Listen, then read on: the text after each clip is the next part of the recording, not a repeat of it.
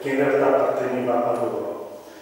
Eh, però, al di là di queste motivazioni ufficiali e in qualche modo ormai la storiografia ci ha dato sufficienti indizi, se non prove, che eh, l'invasione del Kuwait fu in qualche modo una trappola preparata per attirare eh, Saddam Hussein, Ah, dicevo, appena scavando un pochino, trattando la superficie, troviamo quelle che sono in realtà le motivazioni vere di, quella, di quello snodo strategico.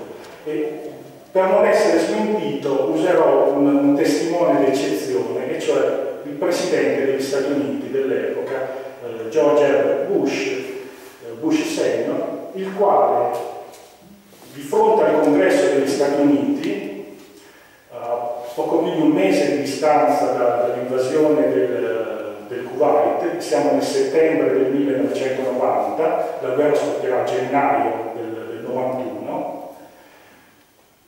Dicevo settembre e per gli amanti delle coincidenze, per i dietrologi, io vi guardo negli occhi e so che tra le voci di qualcuno, era l'11 settembre del 1990, quindi data dire, emblematica, Davanti al congresso degli Stati Uniti, Bush senior pronuncia queste parole. Nel Golfo Persico offre una rara opportunità di avanzare verso un periodo storico di cooperazione. Un nuovo ordine mondiale può emergere, in cui le nazioni del mondo, dell'est e dell'ovest, del nord e del sud, possono prosperare e vivere nell'armonia. Oggi il nuovo mondo sta lottando per venire alla luce.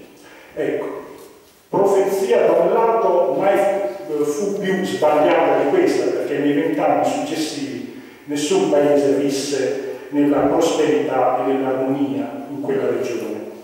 Però, dall'altro punto di vista, era una profezia, come dire, autoavverantisi, perché eh, Bush senior aveva chiaro la visione, dietro di lui ovviamente tutti diciamo, i bacini di pensiero eh, americani che sono fautori di strategie di lunghissimo periodo, eh, che se un, un, vecchio ordine mondiale, quello basato sulla contrapposizione dei blocchi, comunismo, capitalismo, Stati Uniti, Unione Sovietica, era finito, era necessario costruire un nuovo ordine mondiale, un nuovo mondo, per prolungare quello che era, nella loro visione, evidentemente un altro, un nuovo secolo americano.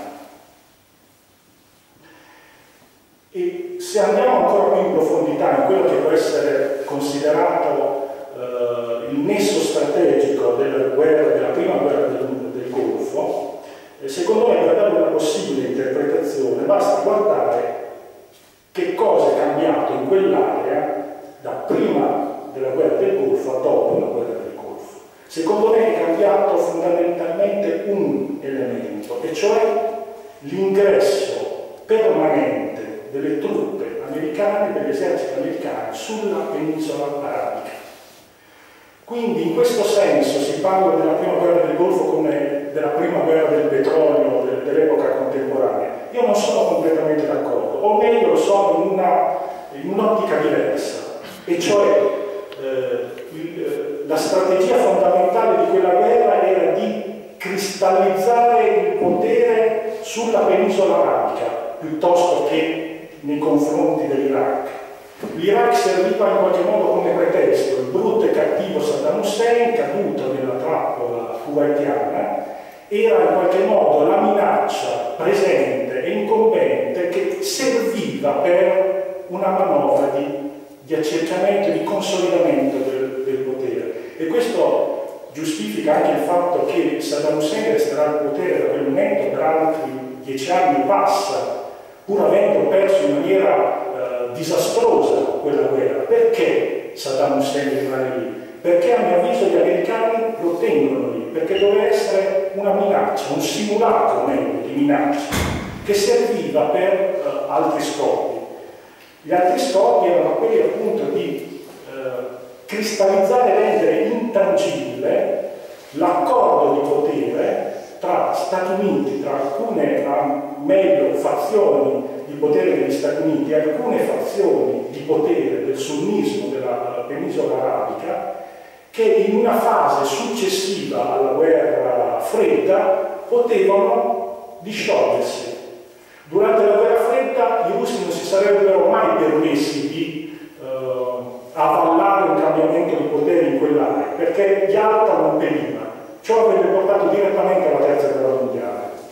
Nel momento in cui non c'è più il controllo determinato da, dalla contrapposizione dei due blocchi, ecco che eventualmente eh, nella famiglia regnante saudita si possono aprire delle voragini. Io non so se voi conoscete un po' i rapporti di potere di queste entità. La famiglia saudita, per fare un esempio, è una famiglia allargatissima, fatta di cugini, fratelli, nipoti, eh, spesso in, in, blocchi contrapposti tra di loro, perché ad esempio il monarca ha 5, 6, 10 mogli e i figli di ognuna di queste mogli rappresentano un gruppo di potere in contrapposizione ai cugini o ai fratellastri degli altri. Ecco dunque che lo scopo strategico della prima guerra del Golfo è di rendere, di cristallizzare questo potere. Faccio un salto, vado avanti dieci anni arrivo al, al, Kosovo, che è stato citato anche prima giustamente da, da Giuseppe.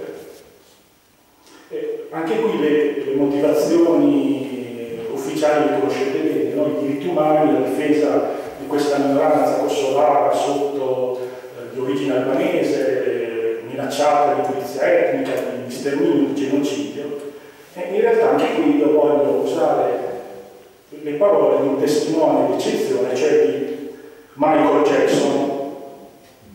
Adesso voi dite questo è matto, in realtà parlo di, del generale Michael Jackson, capo eh, britannico, capo della missione militare in, in Kosovo, il quale eh, prima di entrare nella tenda dove avrebbe da lì a poco firmato l'armistizio con i generali del, dell'esercito jugoslavo, eh, rilasciava dichiarazioni al, pubbliche alla, alla, stampa in cui ovviamente incensava eh, l'operazione della Nato come una grande operazione di pacificazione, di difesa dei diritti umani, però poi come una sorta di, di squarcio, di, di verità, dice anche questa piccola frase.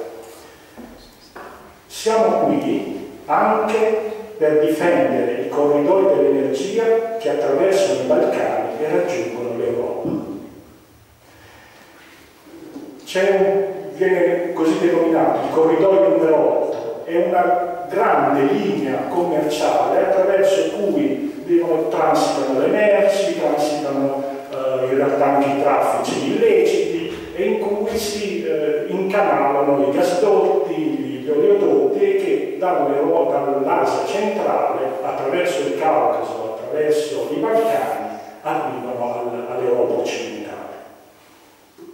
Quindi, come dire, eh, nell'epoca già di maturità di quella che era la globalizzazione, quindi alla fine degli anni 90, c'era rimasto un, piccolo tassello nei Balcani che doveva essere normalizzato. Ed c'era il rimasuglio di quello che è stato un grande Stato in Europa, la Jugoslavia, c'era ancora un presidente, Milosevic, che non era completamente conforme e desiderato dei padroni della locomotiva ed ecco che il Kosovo consente di liberare normalizzare definitivamente il corridoio, il corridoio 8. Un altro piccolo salto, in pochi anni, l'11 settembre, quello vero, tra virgolette, del 2001, e quindi l'invasione dell'Afghanistan e dell'Iraq. Io mi voglio concentrare un attimo soprattutto sul, sull'Afghanistan.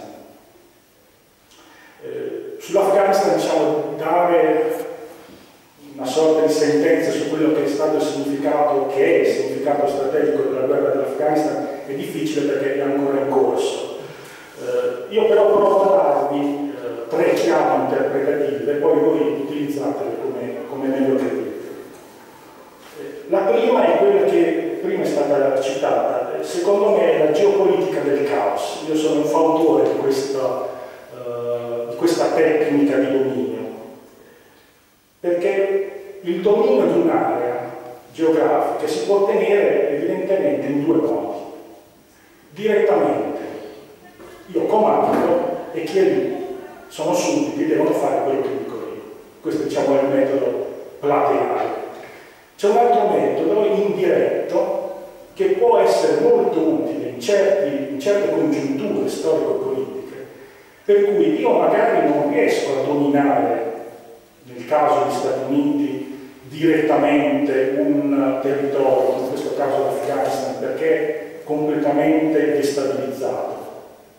Però, attenzione, questo non necessariamente è una sconfitta, perché se io non ho il controllo di quell'area, non ce l'hanno neanche gli altri.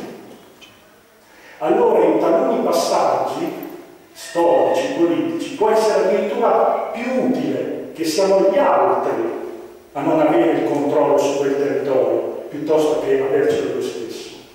Perché poi queste strategie si decidono anche non nell'immediato, come noi siamo spesso abituati a, a pensare, no?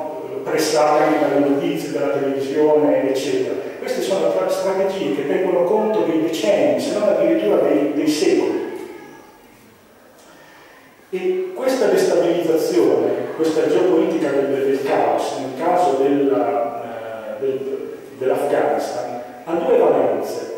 Una nei confronti ad esempio dell'India, perché quel gasdotto che viene definito il gasdotto della pace, e cioè che dovrebbe unire il Turkmenistan attraverso l'Afghanistan e il Pakistan arrivare all'India, finché ci sarà e quindi determinare necessariamente una collaborazione tra Pakistan e India, altrimenti eh, nemici storici, e dare all'India la possibilità di uno sviluppo autonomo, in cui gli Stati Uniti avrebbero poche parole, poca parola da spendere, ecco che finché c'è la guerra in Afghanistan, finché c'è la destabilizzazione dell'Afghanistan, questo gasdotto della pace non potrà mai vedere la luce.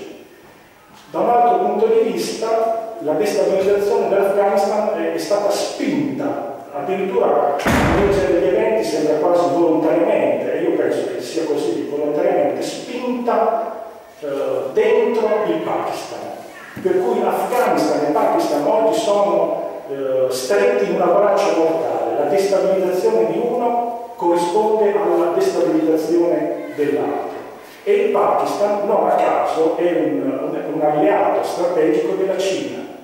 E se noi vediamo tutte le aree di eh, cerniera, di confine tra il subcontinente cinese e, eh, e l'Asia centrale, quindi la parte eh, più ad occidente, vediamo che tutte queste regioni sono eh, sobillate, sono, sono, destabilizzate, a partire dalla Xinjiang, dal nord, al Tibet, il Myanmar, il Pakistan, ecco, quasi a formare un cuscinetto di, di destabilizzazione che impedisce una possibile espansione, quindi l'affermarsi di un'egemonia della Cina verso l'Asia centrale. Vi do un'altra chiave di lettura per l'Afghanistan e che è la droga, l'oppio. Eh, se si guarda la storia recente del, dell'Afghanistan si nota una eh, corrispondenza addirittura quasi matematica con la produzione di oppio. In questo senso, dagli anni 70 in poi, ogni volta che c'è una guerra, un cambiamento di potere in Afghanistan, che di guerra ce ne sono state praticamente in maniera ininterrotta da 30-40 anni a questa parte, ad ogni appunto, ad ogni cambiamento politico, ad ogni guerra, si nota che prima c'è un calo della produzione di oppio, poi appunto succede qualcosa, va al potere qualcun altro, una successione del potere, scopre una guerra e eh, la di oppio esplode improvvisamente. Questo diciamo, l'esempio più eclatante che ricordo il 2000. Nel 2000 i talebani avevano praticamente azzerato la produzione di oppio dell'Afghanistan. 11 settembre 2002 la produzione di oppio esplode assolutamente. Addirittura eh, l'Afghanistan diventa il centro della produzione mondiale di oppio. E io qui vi porto come dire, un'altra coincidenza per mani del, del complottismo, se negli anni 60-70 con le guerre in Vietnam, in Indocina, era quell'area la maggiore produttrice di oppio, oggi è l'Afghanistan, il maggior produttore di oppio, anche qui c'è una guerra a conduzione americana. Magari una coincidenza, io ve lo porto come, come un dato di fatto comunque. Ecco, con l'Afghanistan e, l'Iraq eh, l'accertamento dell'Iran può dirsi concluso. E io vi porto, come dire, veniamo appunto al tema più centrale che è appunto quello dell'Iran. Improvvisamente, quasi per magia, dopo questo accerchiamento, in, uh, in Iran si comincia un permesso eh?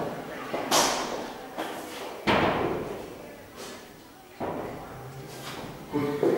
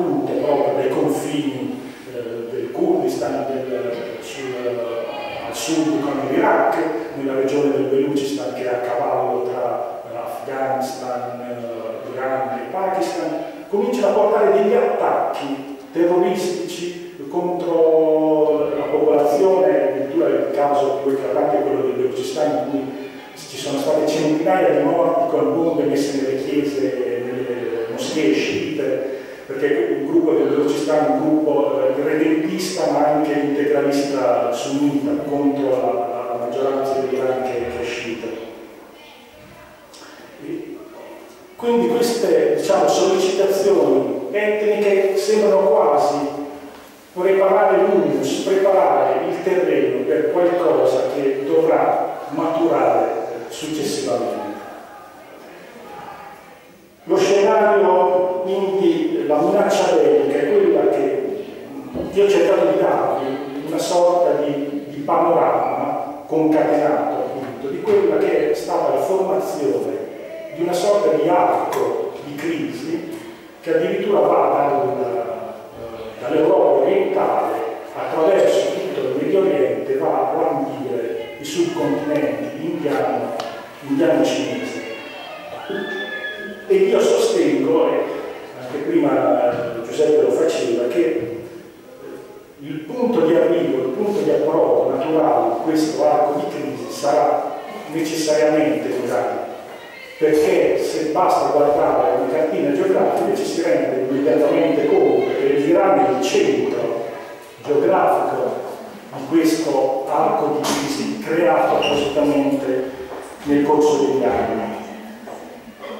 Quindi l'Iran è il punto di arrivo di questa strategia.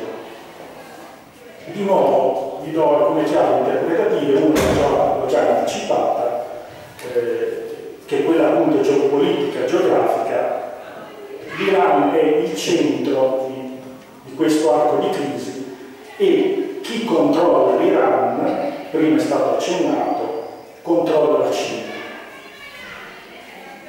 Io però voglio darvi, controlla il mondo e quindi eh, vi converso controlla, controlla, la Cina. Perché io voglio dare, come dire, quella che è la mia interpretazione geopolitica, poi magari ne discutiamo, ne discutiamo insieme.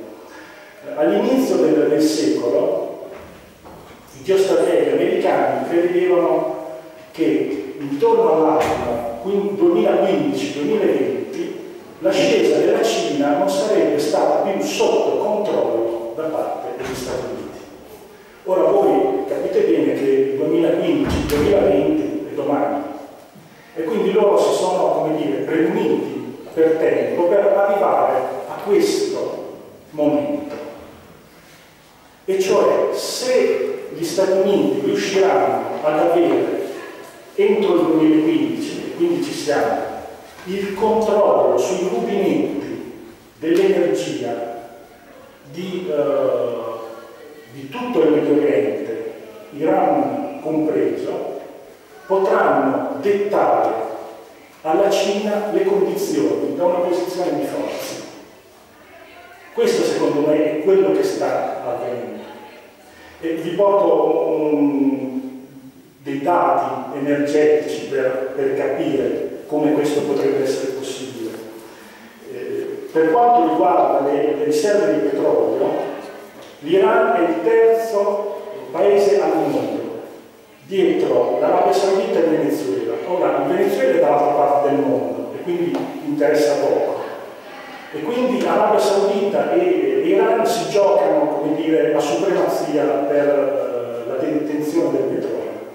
Se noi mettiamo insieme questo dato con quello del gas, abbiamo un risultato estremamente interessante, perché il primo paese detentore di gas al mondo è la Russia, ma secondo, subito dopo, c'è l'Iran, con questa piccola differenza, che mentre le riserve eh, della, della, Russia sono destinate a finire, a meno che non trovi un altro, un altro giacimento, ad esempio nell'Artico, è destinato a finire da qui a 80 anni, le riserve iraniane finiranno da qui a 300 anni.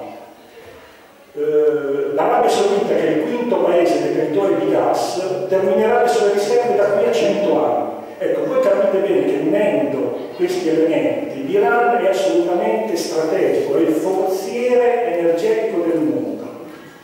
Per gli Stati Uniti controllare questo forziere vuol dire dire alla Cina cosa vuoi fare? Vuoi la guerra? Sei pronto ad affrontare la guerra?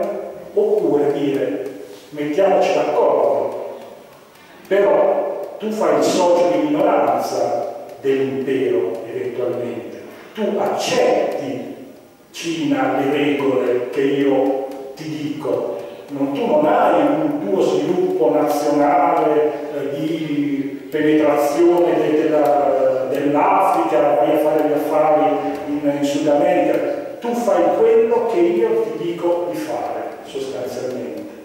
Certo, ti cedo un po' di potere, collaboriamo, però tu sei socio di minoranza dell'impero.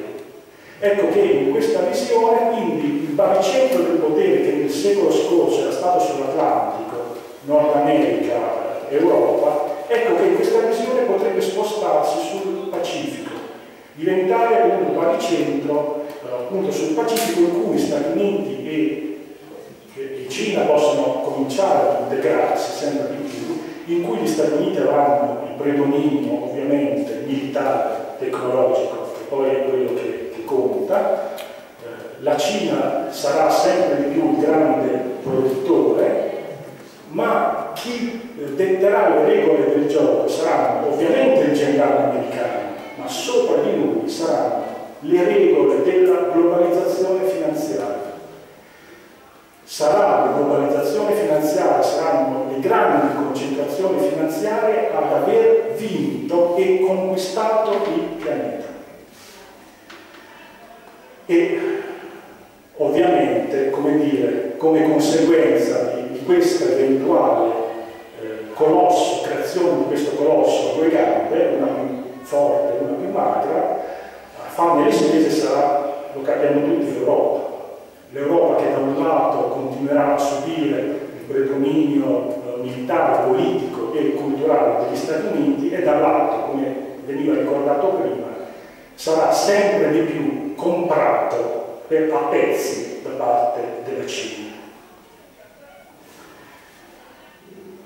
Siamo quindi diciamo, al, al, alla fine di, questo, di questa panoramica e ci sono due linee strategiche per arrivare al controllo e alla normalizzazione dell'Iran. Due strategie che hanno negli Stati Uniti corrispondono a ben precisi, determinati gruppi di potere eh, che sono talvolta in contrapposizione, talvolta collaborano e che sono sostanzialmente così semplificando una è quella della guerra, cioè veniamo duro come abbiamo fatto in Afghanistan e, e in Iraq, domani lo facciamo con, con l'Iran. C'è un'altra linea strategica, eh, diciamo più di ordine eh, democratico, tra virgolette, perché sono sempre visioni imperiali, ma con metodologie in qualche modo diverse. L'altra eh, versione è quella di soft power, cioè o di provocare un cambiamento di regime eh, in Iran che sia più benevolo nei confronti dell'Occidente, addirittura, come sostiene ad esempio un geostratega americano di origine polacca, Zbigniew Brzezinski, di arrivare ad un accordo, un accordo onorevole con l'Iran in modo da attrarlo uh, verso l'Occidente. Voi capite bene che si tratta, come, dire, come dicevo, di due linee di strategi strategiche comunque imperiali, però non neutre, perché una prevede la guerra e una prevede l'utilizzo di tecniche eh, più, più raffinate. Chi può fare determinare, essere l'ago della bilancia per far pendere nell'attualità eh, l'ago appunto della bilancia da una parte o dall'altra di queste due strategie e quindi chi può decidere se avremo domani una guerra con l'Iran oppure no? A mio avviso, credo che non poter essere smentito, è Israele. Israele è l'ago della bilancia della situazione. Israele ha già dichiarato che non accetta un Iran nucleare, secondo me, io lo dico chiaramente, questo si tratta di teatro, perché il problema non è accettare un Iran nucleare, poi se volete ne parliamo, perché l'Iran non ha la bomba e non vuole avere la bomba, eh, la minaccia esistenziale per Israele non è il nucleare, è che l'Iran possa diventare una potenza regionale indipendente. C'è, sottolineo tre volte con la penna rossa la parola indipendente. A queste condizioni, per Israele, l'Iran è una minaccia esistenziale, ma quindi è una minaccia assolutamente politica, eh, come dire, e non di eh, di riedizione del, dell'olocausto come vogliono farci credere le, le dirigenze, le dirigenze eh, israeliane. Ecco, io per il momento concludo qui, ho cercato di offrirvi delle maniglie interpretative a cui se volete, se volete nel momento in cui io credo nelle prossime settimane e mesi sentirete sempre più parlare dell'Iran, di Israele, del, eh, dei loro dissidi, ecco, oltre a quello che vi dirà la televisione, secondo me voi dovete avere come riferimento che sotto ci sono delle potenze, delle forze che, che spingono in maniera eh, veramente straordinaria. Ecco, vi ringrazio.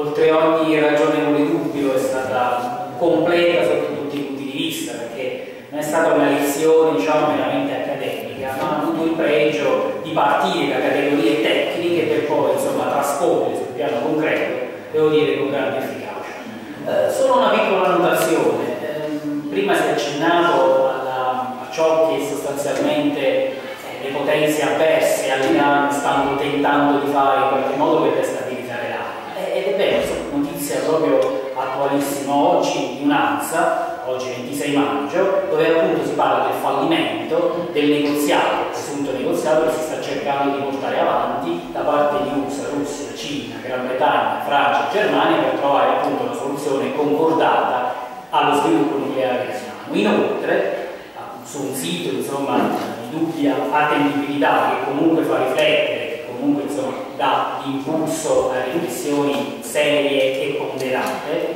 devo dire che insomma, il ministro della difesa israeliano, Ehud Barak, proprio insomma, prima parlavamo di scacchi, anche una simpatica da parte di Esposto, ebbene detto proprio questo. Non c'è alcuna ragione dirci cosa fare e noi non, dobbiamo, noi non abbiamo ragione di chiedere del panico. Israele è molto, molto forte, ma noi dobbiamo sapere che gli iraniani sono dei giocatori di scacchi e faranno di tutto per conseguire la capacità nucleare. Continua il ministro della difesa israeliano, la nostra posizione non è cambiata, il mondo deve fermare l'Iran prima che diventi una potenza nucleare. Tutte le opzioni restano, restano sul tavolo. Beh, io correggerei l'inciso del ministro della difesa israeliano nella parte in cui dice il mondo deve fermare l'Iran prima che diventi una potenza indipendente. Ecco, io penso che dietro la parola nucleare si possa leggere proprio la parola indipendente. E con questo dichiaro concluse le azioni e spero che insomma voi vogliate in qualche modo fare le domande giuste per continuare il dibattito in maniera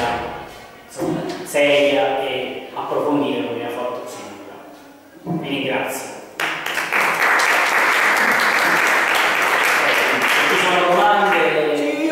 Dottor Santini, una, una, domanda che mi faccio, chiedo spesso a me stesso senza trovare risposte, perché non sono un esperto come lui, quindi approfitto dell'occasione. Se un eventuale cambiamento di leadership attuale in Iran, eh, in che maniera potrebbe incidere, voglio dire, sullo scenario? Eh, perché mi pare che fino a poco tempo fa si è cercato di destabilizzare, soprattutto con l'opposizione diciamo, interna, diciamo, dei, con, del contraltare dell'attuale presidente. Ma mi pare che alla fine, visto che non ci sia riusciti troppo, perché alla fine poi non mi pare che questo cambiamento avrebbe delimitato, delineato diciamo, un cambiamento troppo di posizioni dell'Iran sulla questione nucleare, quindi non sarebbe stato un pericolo minore per Israele in quel senso, pare che ultimamente ho avuto questa impressione che invece si voglia viaggiare addirittura proprio verso un conflitto nucleare. Se ritiene questa mia impressione fondata in qualche maniera e se mi può dare una conferma o se altrimenti mi, mi può dare una corretta impostazione. Sì. Ma io la ritengo corretta, diciamo, diamo do subito questa, questa risposta. Eh, diciamo, per argomentare leggermente, ecco, se il pericolo eh, iraniano non è legato alla produzione della bomba, ma appunto dal punto di vista di Israele quello dell'ascesa di una potenza regionale indipendente eh, che può contrastare i piani di egemonia sul Medio Oriente di Israele stesso, il quale, diciamoci chiaramente, Israele necessità di svolgere una politica di potenza. O Israele esprime una politica di potenza o non esprime niente, o non è uno Stato. È una entità che, come Ahmadinejad ha detto più volte, è destinata ad essere, a scomparire dalle pagine del, della storia. E questa frase è stata, come dire, rimasticata in, in chiave manipolatoria dicendo no, deve essere cancellato, Israele deve essere cancellato dalle carte geografiche. No, Ahmadinejad ha detto qualcosa di diverso e più profondo, cioè quell'entità politico-spirituale in quanto tale come regime di occupazione di una terra è destinato a svanire nel parte del tempo, è qualcosa di profondamente diverso. Ecco, se la, la situazione è questa, come dire, eh, il nucleare c'entra poco, evidentemente. Si tratta di, di uno schema.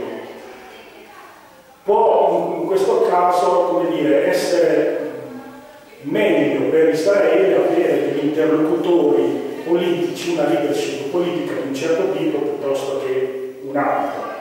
Evidentemente sarebbe meglio avere una uh, leadership uh, riformista però anche questo, come dire, non è necessariamente vero, perché negli anni, primi anni del, del 2000 c'era un presidente riformista, Catanini, il quale tuttavia aveva un profilo nazionale, di interesse nazionale molto forte. E infatti Bush cerca di buttare fuori Catanini, mettendo l'Iran nell'asse del mare. Aveva proprio questo scopo di delegittimare la politica di Catanini. Quindi che sia conservatore, che sia riformista all'interno dello Stato, a loro poco importa. L'importante è che non abbiano un profilo eh, di, eh, di, nazione indipendente per quanto riguarda l'Iran.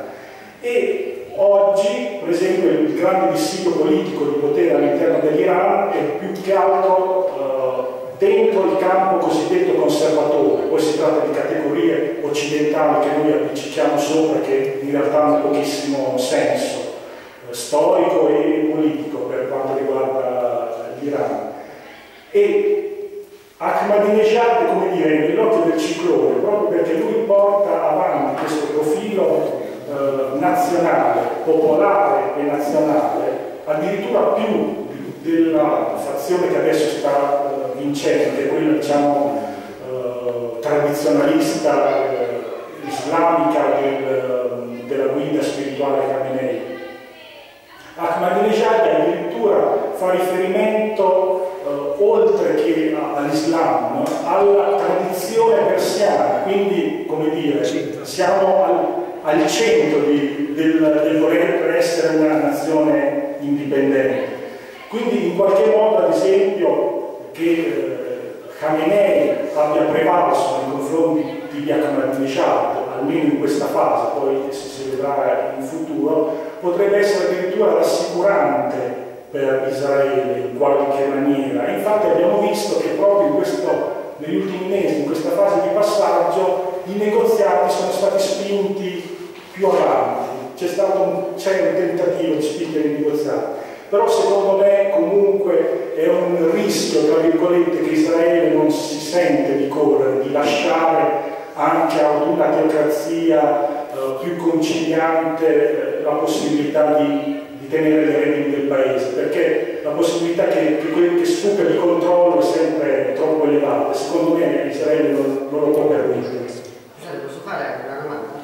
Prego. Eh, allora, eh, ho più di una domanda. Volevo chiedere eh, un raccordo tra quello che ha detto eh, il caro amico Giuseppe Esposito e quando ha detto lei, professore. Diciamo, eh, io sono perfettamente d'accordo con quello che ha detto eh, Giuseppe Esposito, che eh, ritengo che effettivamente la Cina è, eh, dal punto di vista economico, la più grande potenza monetaria mondiale attualmente esistente. So per certo che la stragrande maggioranza del debito pubblico degli Stati Uniti è detenuto dalla Cina.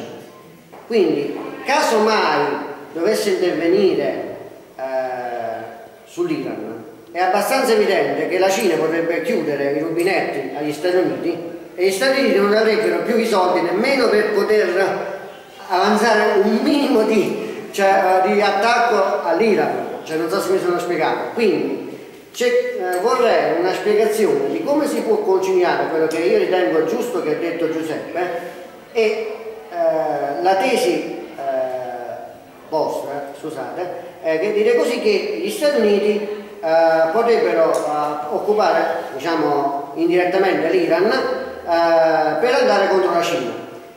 Se è vera la tesi vostra, è falsa la tesi di Giuseppe che la Cina in pratica comanda dal punto di vista economico comprando le obbligazioni degli Stati Uniti. Quindi un raccordo tra le due tesi, eh, io chiederei una spiegazione sul raccordo tra le due tesi, insomma.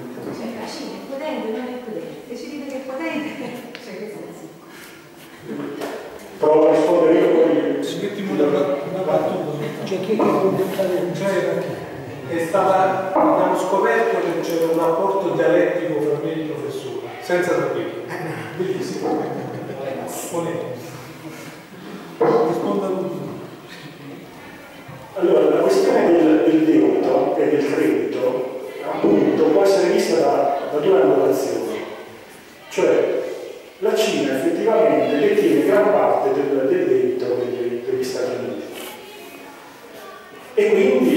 apparentemente in una posizione di forza, no? E il creditore.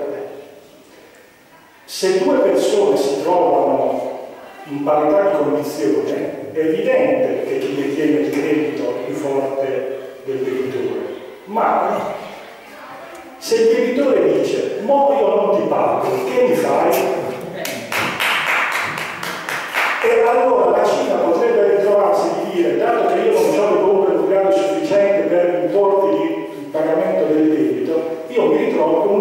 carte in mano.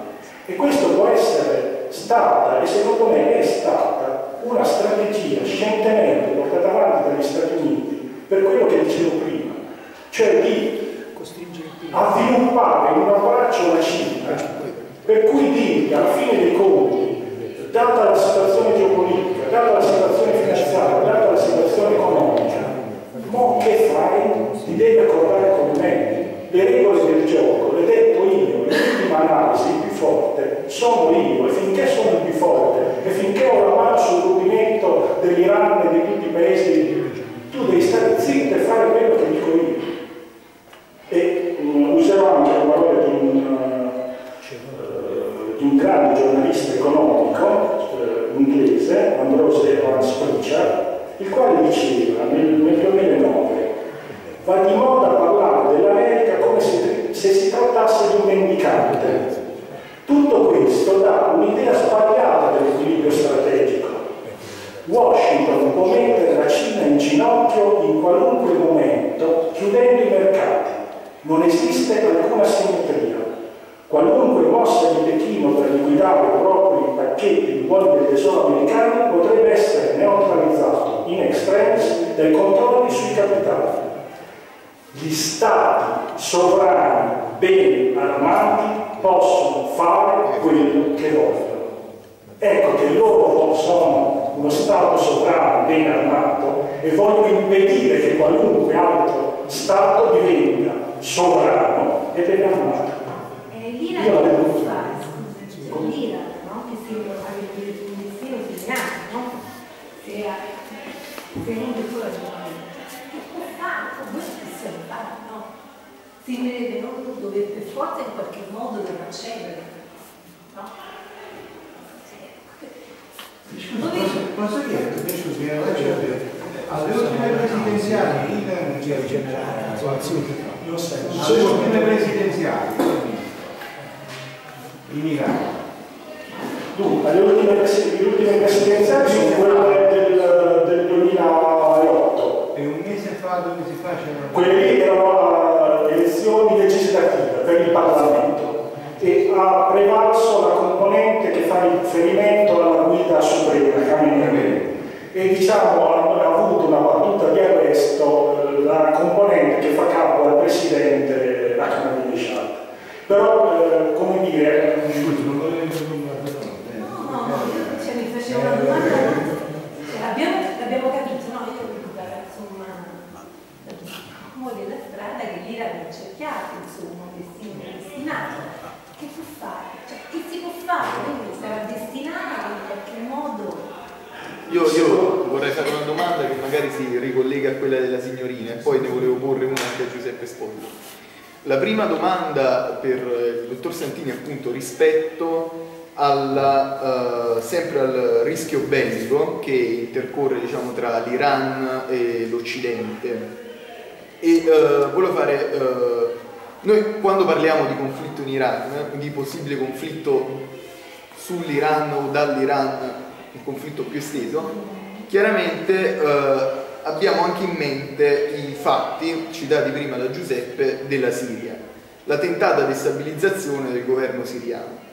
Sappiamo che la Siria in un certo qual modo rappresenta l'anticamera dell'Iran si è voluto addirittura ipotizzare, e non mi sembra tanto improbabile, che eh, un intervento militare in Siria servirebbe semplicemente a isolare l'Iran rispetto a tutti i suoi alleati regionali per poi poterlo colpire. È pur vero che però la Siria è stata difesa in sede ONU sia dalla Cina che dalla Russia. La Cina evidentemente per propri interessi economici, la Russia forse per non perdere partner eh, territorialmente vicini, comunque alleati strategici o pezzi di territorio che mantiene sotto la propria egida, sotto la propria ala. Da questo punto di vista quindi possiamo dire che l'unico vero ricorso, diciamo, l'unica vera protezione dalla minaccia bellica o comunque dalla, dalla totale cancellazione dalla storia dell'Iran consiste per l'Iran stesso eh, nell'appellarsi a quelle due eh, potenze, eurasiatica una, est asiatica l'altra, che sono Russia e Cina? Sì, allora rispondo praticamente insieme alle, alle due domande. Cioè ci dobbiamo trovare una se io ho individuato il problema, l'abbiamo individuato, se ovviamente quando domande sono, sono ben consci delle risposte, perché più o meno abbiamo fatto un quadro dei quadri, cioè, non lo metto in dubbio. Abbiamo detto in Dio, lo sappiamo, lì allora che può fare? Non può trovarsi un alleato. Eh, no, voglio dire, alla fine... Sostanzialmente. In realtà secondo me l'unica possibilità... non so, Però voglio dire, che mi trovano le carte. Abbiamo capito per quale problema aveva comunque l'Iran aveva attaccato. E allora troviamo delle soluzioni. Se ci sono, non so, suppongo di sì. Beh, l'unica soluzione, È un fenomeno umano. scusi se rispondo io, l'unica soluzione è che la Cina si allega con l'Iran. È l'unica soluzione. Sostanzialmente, sì, Come anche di sostanzialmente finanza, quello no? che abbiamo abbiamo Israele, però non possiamo provare a contrattare. Cioè io questo mi chiedo, non è Eh, possibile certo. che non possiamo Vabbè. formare un'opinione pubblica una, cioè, diversa. Cioè, Signorina, noi stavamo dicendo appunto che evidentemente Russia e Cina rappresentano poli strategici d'aiuto anche per l'Iran e per quegli altri paesi che sostengono una certa battaglia contro l'imperialismo occidentale, no? E appunto su questo abbiamo chiesto se poteva essere una soluzione al dottor Santini. Vabbè, io lo so che non la salvo la soluzione. Perché... No, probabilmente Cioè, capito, è molto più grande, però mi chiedevo questa cosa che penso sia elementare, no? Guarda. Ciao, ciao Giovanni, te lo dico proprio con cuore. Se io fossi a marineggiare, sai che farei? Io domattina vado alla televisione e faccio questa dichiarazione. Se Israele ci bombarda, noi decretiamo la non, la non belligeranza dell'Iran. È già un atto, voglio dire. Una follia, non lo so, però io fossi in marineggiato farei una cosa del genere, perché spaventare le carte sparigliare le carte, fare la mossa del cavallo in questa situazione è l'unica forse possibilità che può diventare la guerra. Per rispondere a Orazio, eh, certo, Cina e Russia potrebbero essere, come per la Siria, come dire, una salvaguardia nei confronti dell'Iran di un attacco. Io credo più la Cina che la Russia in realtà, perché la Russia ha comunque nei confronti dell'Iran una storia e degli interessi che non sono completamente coincidenti. E quindi paradossalmente che l'Iran si prende una bastonata a Putin alla fine non è che gli vada poi, anche perché noi avremo uno shock petrolifero pauroso e, e farebbero affari in quei pochi anni a, man bassa. D'altro lato un Iran eh, diciamo filo occidentale porterebbe una grande destabilizzazione all'Asia centrale a tutte le repubbliche ex sovietiche. Quindi ragionando in termini Però volevo dire anche la Russia dovrebbe, eh, dovrebbe porsi questo problema, perché come giustamente si sottolineava nella relazione iniziale di Esposito, quello lì è un territorio che non apre solo le porte, come avete detto giustamente, perché quelli convinti, trovando tra, ci sono stati contrasti anticamente tra Russia, sono territori confinati, non è un territorio che apre solo le porte verso l'est, ma anche verso quel nord, verso i confini della Russia, le zone interne, eh, dal Caucaso, dal Mar Caspio, da voi, cioè, fossi in Russia anche io, insomma, cercherei di limitare eh, la, la- la- la prepotenza altrui, eh, insomma, cercando di salvaguardare. Prego. Guarda, sui territori non ti interessa solo a te, in buona sostanza. considerazione diciamo anche sulla ridefinizione degli scacchieri del Medio Oriente eh, quello che a volte dimentichiamo è anche un'altra potenza regionale fortemente emergente che è la Turchia. Quindi diciamo Turchia e Iran siccome entrambe hanno hanno ambizioni regionali che potrebbero coesistere fino a un certo punto potrebbero trovare un punto di incontro per la sopravvivenza dell'una come abbiamo visto che è fortemente messa in crisi e anche per le situazioni dell'altra che estende proprio, la propria influenza anche su aree molto grosse di un Medio Oriente che ormai sta cadendo a pezzi che ha bisogno anche di una ridefinizione. Quindi è possibile diciamo, un incontro tra una Turchia laica, diciamo, mh, diciamo laica, tra virgolette, che in realtà non è che